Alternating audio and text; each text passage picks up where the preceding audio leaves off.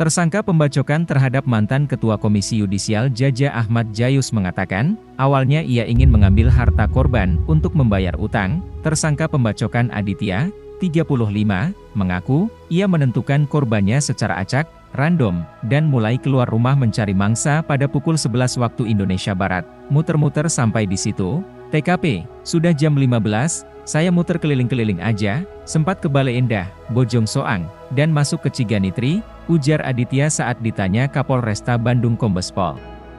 Kusworo Wibowo di Mapol Resta Bandung, Rabu, 29 Maret 2023, Aditya mengatakan, sebelum melakukan pembacokan terhadap korban, ia sempat berpapasan dengan korban saat korban mengendarai mobilnya.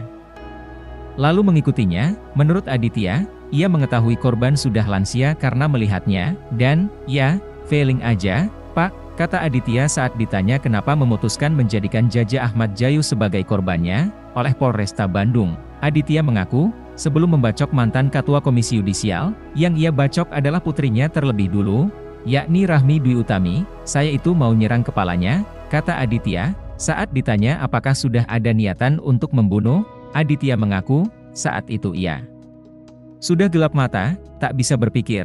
Jadi pas begitu sudah dengar, si bapaknya di tangga turun, di situ saya berasumsi saya udah ketahuan. Saya udah enggak sadar, dan akhirnya saya menyerang dengan membacok.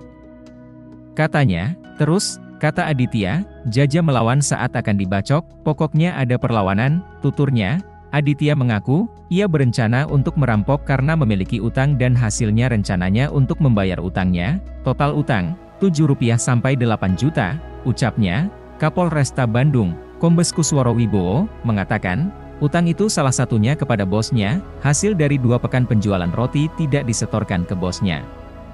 Jadi tersangka sales atau marketing di perusahaan roti, harusnya begitu dia jual langsung setor. Ini tidak tak disetorkan, kata Kusworo, selain itu, kata Kusworo, untuk menebus ponsel kepo.